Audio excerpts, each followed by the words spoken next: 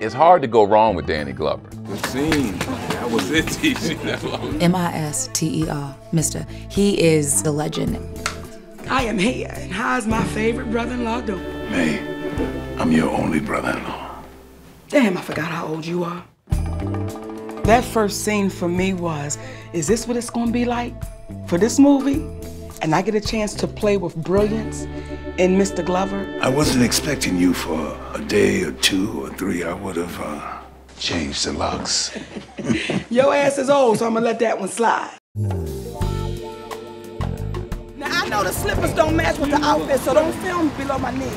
Hey, baby, baby, hey. Once you hear the babies, you know Mo'Nique is on set. Baby, I'm here, baby. All right, how you doing? Hey, everybody. Hey, what's happening?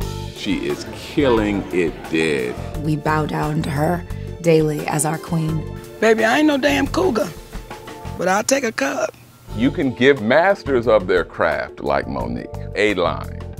But by the time they finish that, they've almost crafted a whole scene out of it that's better than you would have ever imagined. Roar! I made it had a couple cocktails, baby. Roar! Good, good.